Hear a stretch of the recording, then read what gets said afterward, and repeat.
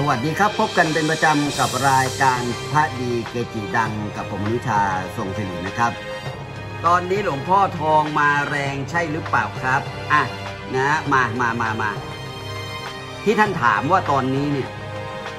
เกจินะครับ เกจิตอนนี้เนี่ย ถ้าท่านติดตามผมท่านจะเห็นนะครับว่า เกจิไม่หนีจากที่ผมบอกหรอก ตอนเนี้ยเหมือนกับนะเหมือนกับเราเราคอนโทรลสถานการณ์ได้แล้ว เหมือนกับว่านะวงการพระเนี่ยตอนเนี้ยมันไม่มีใครเป็นเป็นหลักอะ่ะไม่มีใครเป็นหลักสมัยเมื่อก่อนเนี่ยเขาจะมีหลักอยู่นะฮะจะมีหลักอยู่ก็คือว่าคนทำพระส่วนใหญ่เนี่ยสมัยเมื่อก่อนนะครับเขาพอทำพระเนี่ยเขาก็จะลงหนังสือพระเขาก็จะลงหนังสือพิมพ์นะแล้วคนก็จะรู้ แล้วก็เขาก็จะลงลงศูนย์พระเครื่อง คือจะมีใบโบชัวไปแจกตามศูนย์ต่างๆนะครับ แล้วเขาจะรู้ว่าเกจิรุ่นไหนเปิดจองรุ่นไหนเปิดจององค์ไหนเปิดจององค์ไหนเปิดจอง เดี๋ยวนี้แทบไม่รู้เลยครับ นะแทบไม่รู้เลยบางท่านไม่รู้ด้วยว่าเกจิองค์ไหนมีอยู่นะครับบางคนจริงๆนะครับ ไม่รู้เลยว่าเกจิองค์นี้มีอยู่ในจังหวัดนี้ด้วย เหมือนเหมือนวันก่อนที่ผมมาคุยให้ฟังหลวงปู่เจอะ เขาบอกว่าเขาอยู่กาลสินเขาไม่รู้จักหลวงปู่เจ ดูเอาล้วครับนะดูเอาแล้วกัน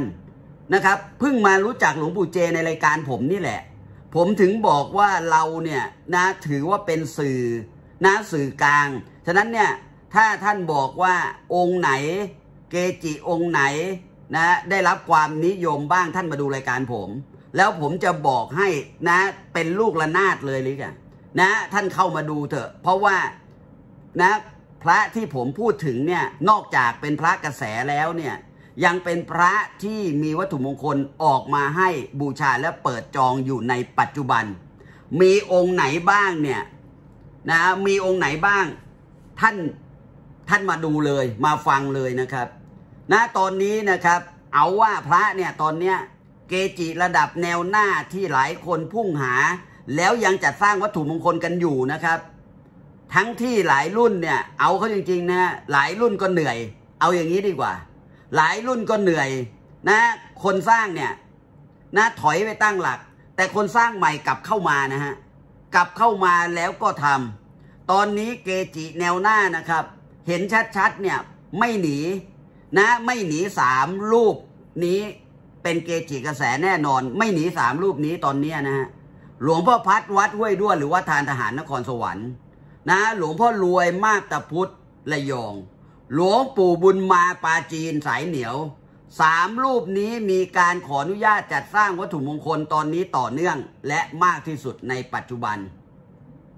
ส่วนพระที่ได้รับความนิยมแล้วก็มีการสั่งจองมีการสร้างกันอยู่ตรงตอนนี้ก็มีหลวงพ่อทอง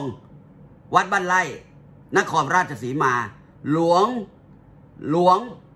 ปู่จือ วัดเขา ตังเงาะ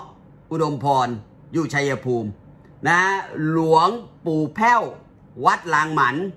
อันเนี้ยเป็นวัตถุมงคลที่ได้รับความนิยมนะมีคนไปนะไปบูชา เกจิที่ผมเอ่ยชื่อมานะครับ แล้วเกจิที่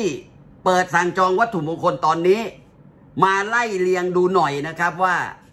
ที่เปิดสั่งจองวัตถุมงคลตอนเนี้ย มีรูปไหนบ้างอย่างไรนะครับ ผมมีนะมีข้อมูลพอจะมาพูดคุยกับแฟนรายการ ไล่เอาว่าตอนเนี้ยถ้าท่านอยากได้วัตถุมงคลที่เปิดสั่งจองเนี่ยท่านเตรียมนะครับสีสเกตหลวงปู่ทีสำนักสงฆ์กระต่ายดอนนะครับสีสเกตเขาทำเหรียญนั่งพาน ตอนนี้เปิดสั่งจองอยู่นะครับ แล้วเดี๋ยวจะเข้าพิธีปลุกเสก หลวงปู่เจ วัดป่าวิเวกธรรมกาลสิน เปิดจองเหรียญรุ่นบูชาครูมหาเฮง เหรียญเขาก็สวยนะครับ เหรียญเขาก็สวย หลวงปู่เจเนี่ย บางคนรู้จักท่านในนามหลวงปู่บุญมา ชื่อท่านก็บุญมาเหมือนกัน แต่ผมพยายามไม่เรียกว่าบุญมา เพราะว่ามันจะไปซ้ำกัน แล้วเดี๋ยวเราจะแยกกันไม่ออก เพราะคนเล่นวัตถุมงคลจริง ๆ เนี่ยนะครับ แยกอะไรไม่ค่อยออกจริงๆฮะนะผมก็งงกับท่าน ท่านเล่นบางทีท่านก็แยกเกจิไม่ออก เหมือนกับท่านไปโดนยอดลม เหมือนกับท่านไปซื้อของเก๊นี่แหละ นะท่านแยกไม่ออกนะบางคนเนี่ยผมก็กุมใจกับท่านอยู่เหมือนกัน นะที่เปิดให้สั่งจองตอนนี้ ก็ยังมีหลวงพ่อหนวย วัดป่ายุบบุญญารามอยู่ที่ชนบุรี เปิดจองเหรียญเสมา หลวงพ่อหนวย หลังท้าวเวสสุวรรณหลวงพ่อหนวยเป็นเกจิอาจารย์ชื่อดังของชนบุรี อันนี้เปิดสั่งจองอยู่ ถ้าเป็นแนวพระพุทธรูปนะครับ ก็มีหลวงพ่อสำเร็จศักดิ์สิทธิ์วัดตลิ่งชันสระบุรี เปิดจองพระชัยวัด แล้วก็พระผงพิมพ์ วัดปักน้ำซึ่งเอารูปแบบของ พระหลวงพ่อสำเร็จศักดิ์สิทธิ์ไปใส่ เปิดสั่งจอง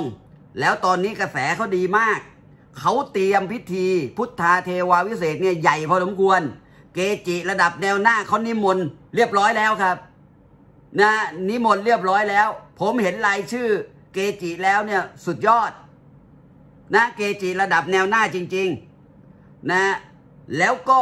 เปิดสั่งจองอยู่ในขณะนี้ก็ของหลวงปู่บุญมา สำนักสงฆ์เขาแก้วทองปาจีนบุรีนะเหรียญเสมาพยักหนุนดวง แล้วก็มีหลวงปู่บุตรดา วัดป่าใต้พัฒนาสาแก้ว เหรียญพยักชนะจน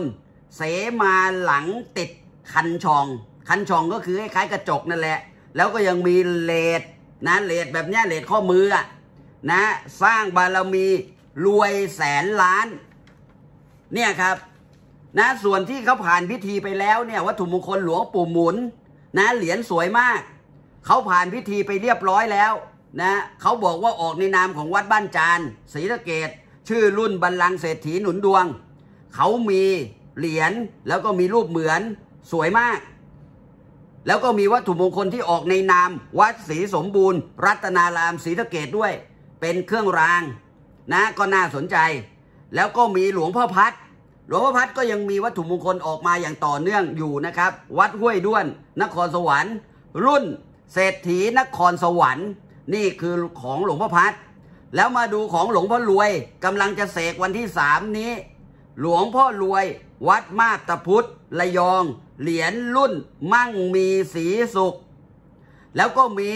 นะวัตถุมงคลของหลวงปู่แก้วสำนักสงฆ์ป่าสมุนไพรเขาไม้แก้วปาจีนบุรี เขาบอกว่าที่นี่ไม่ห่าง ไม่ห่างจากหลวงปู่บุญมาสักเท่าไหร่ นั้นใครไปที่นี่ก็น่าจะไปได้สองที่แหละ นะ นี่ก็มีวัตถุมงคลออกมาเหมือนกัน แล้วก็มีหลวงตาขืม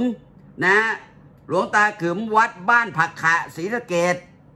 องค์นี้ก็ไม่ธรรมดา แรงพอสมควร ลูกศิษย์ลูกหาหนานแน่น นะ มีอภินิหารเกิดขึ้นมากมาย วัตถุมงคลของท่านก็ได้รับความนิยม นะหลวงตาขืมมา ผมได้ฟังการพูดการจาของหลวงตาขืมเนี่ย ผมบอกว่าองค์นี้นี่มีของฮะนะองค์นี้มีของหลวงตาขืมนะครับ นะ แล้วก็มีหลวงปู่บุญศรีนะ บุญศรีวัดสะแท่น อยู่ปราจีนบุรี องค์นี้อายุ 99 ปีแล้วหลวงปู่บุญศรีจับตาดีๆ นะหลวงปู่บุญศรีอาจจะมา นะท่านจับตาไว้ดีๆนะครับ นี่ผมบอกนะ ผมไล่เรียงให้ท่านฟัง ถ้าบอกว่า ภาคกลาง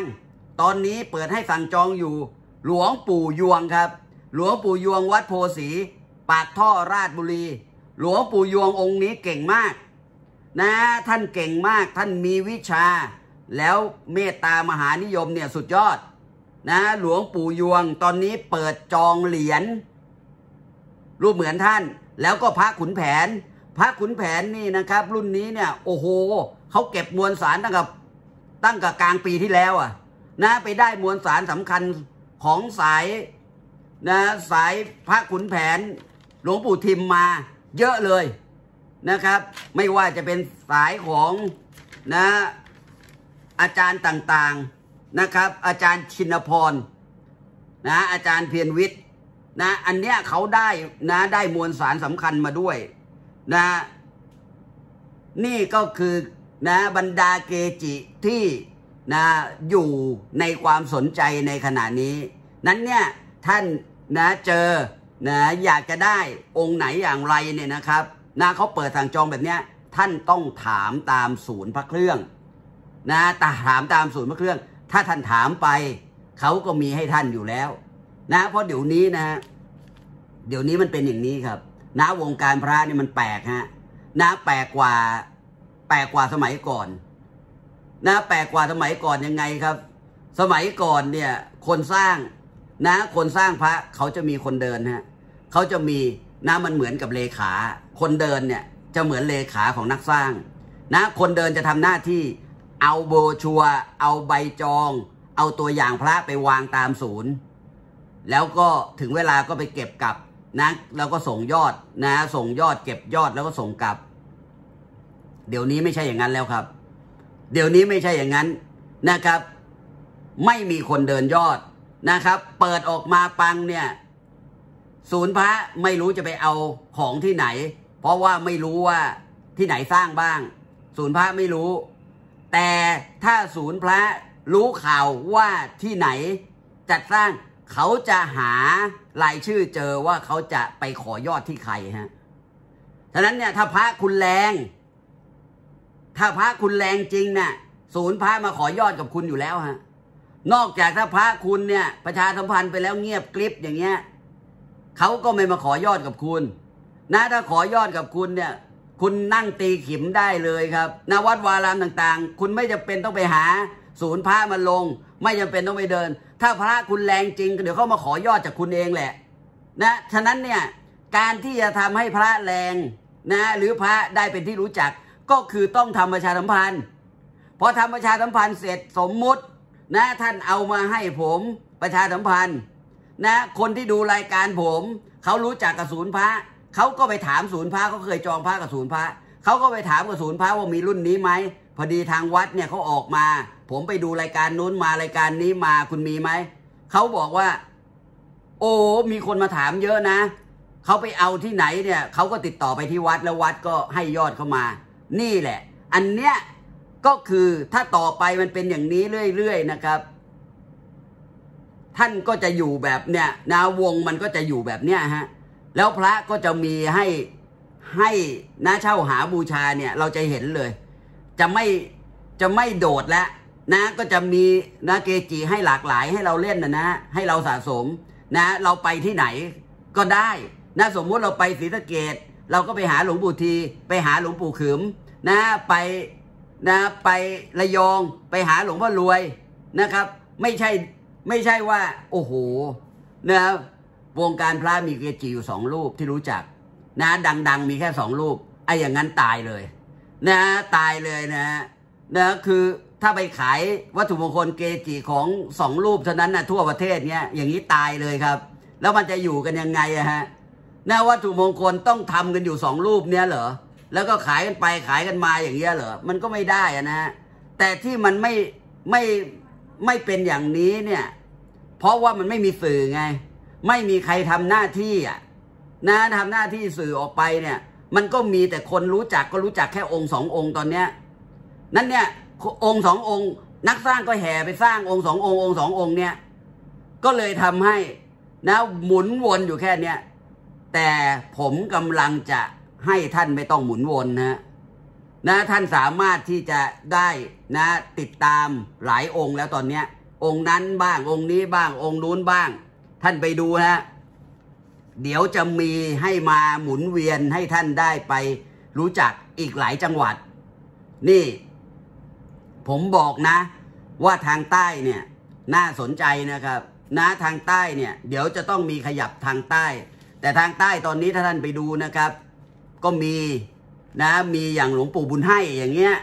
นะแต่ว่าทางใต้มีมีเกจิเยอะนะ แต่ว่ายังเขายังไม่ขยับกันมากมายเท่านั้นเองนะครับ อยู่อย่างสันโดษอยากให้อาจารย์แนะนำเครื่องรางนะต้องมีรางด้วยนะ อันนี้เครื่องเสือนะฮะของหลวงพ่อนะหลวงพ่อสมชายนะครับ วัดปริวาสออกรายการมั่งครับอาจารย์นะ โอ้ยหลวงพ่อสมชาย ผมว่าไม่ต้องแนะนำแล้วมั้งเขารู้จักกันหมดแล้วอะเสือของหลวงพ่อสมชายวัดปริวาสเขาดังจะตายฮะนะคือคือหลวงพ่อสมชายเนี่ย ท่านเป็นสายหลวงพ่อวงนะนะหลวงพ่อวงวัดปริวาสจริงๆเสือหลวงพ่อวงอะดังมากอยู่แล้ว แล้วหลวงพ่อหลวงพ่อสมชายเนี่ย เป็นสายของหลวงพ่อวงก็ก็เสือก็ได้รับความนิยมฮะจริง ๆ ผมไม่ค่อยไม่ไม่ต้องมาแนะนำแล้วมั้งนะครับ เพราะว่า เขาซื้อขายเขาเป็นที่นิยมกันอยู่แล้วนะฮะไม่ว่าจะเป็นเสือหลวงพ่อวง หรือว่าเสือของหลวงพ่อสมชายนะครับเขาเล่นกันอยู่แล้วฮะคุณประกาศสิทธิ์ยอดลมโดนไปตามๆกัน เขาบอกว่ากะอักอะนะกะอักอะกะอักกะอ่วนเนี่ย พอจบจากยอดลม ดันมาเจอของเก๊อีกอะเออ ดูสิคนเราอะนะนะพอจบจากยอดลมไปโดนของเก๊อีกอะแล้วของใหม่ ๆ เนี่ยนะ โอ้โห แล้วมันทำเก๊ออกมานี่นะเขาแผ่ออกมาหลาเลยนะฮะหน้าแผ่ออกมาหลา แล้วก็มาเตือนกันผ่านออนไลน์ บอกว่าตอนนี้รุ่นนี้เก๊เต็มเลยเลย แล้วไอ้อย่างเนี้ย มันเป็นดาบสองคมนะครับ มันเป็นดาบสองคม หน้าดาบสองคมยังไง ในขณะที่พระเก่าเนี่ย ถ้ามีเก๊เนี่ยนะ คือมันยังน้อยไง ยังมีโอกาสเลือกหาพระแท้อยู่เพราะว่า นะเกมันน้อยนะแต่พอมาดูพระปัจจุบันพระใหม่เนี่ยพระแท้ก็ออกมาเยอะ พระเก๊ก็ออกมาเยอะ แล้วก็มาอยู่ในที่เดียวกันหรือออกมาใกล้เรียงกัน แล้วมันดูยังไงเลยทีนี้นะมันระวังยังไงอะครับ และไอ้คนที่มันเอาไปไลฟ์สดเนี่ย เราไม่เห็นพระ บางทีเราไม่เห็นพระมันเป็นแบบลุ้นเป็นแบบอะไรแล้วไม่ตายเหรอครับ นะมันปิดกล่องมาอะไรมาแล้วบอกว่านะแล้วไปมันกระเทือนนะครับ ผมว่า มันกระเทือนคนที่ไลฟ์สด มันกระเทือนคนที่ขายขายด้านหน้าร้านเนี่ยน่ามันกระเทือนนะและไอ้คนที่จะซื้อ เพราะถ้าข่าวบอกว่านะ คือบางทีมันเตือนกันเนี่ยนะ มันเตือนกันมันทำให้ให้ผวาเหมือนกันนะนะถ้าไม่เตือนบางทีไม่เตือนยังดีกว่านะพอเตือนแล้วมันผวาทำให้ ทำให้คนไม่กล้า ราคาไม่กี่ตังค์อะ แต่กลัวของเก๊อะมันก็มียิ่งยิ่งขายยังลำบากใหญ่เลย ปกติของแท้เองออกมาก็ขายยากอยู่แล้ว ดันมามีของเก๊แซมเข้ามาอีกแล้วมันจะขายกันยังไงล่ะทีนี้ฮะโอ้โหนะผมเป็นห่วงจริง ๆ นะแล้วเอาออกมานี่นะเตือนกันตอนนี้เตือนถี่ยิบเลย เก๊เป็นอย่างนี้แท้เป็นอย่างนี้ เก๊เป็นอย่างนี้แท้เป็นอย่างนี้ แล้วใครล่ะครับที่มันจะไป นะก่อนซื้อมันจะไปดูขนาดนั้นว่าว่าเก๊แท้มันมันยังไงฮะ โอ้โหตรงนี้ผมไม่รู้นะ ว่ามันเป็นดาบสองคมหรือเปล่า มันจะทำให้การซื้อขายมันจะมันจะชะงงักไปอะนะ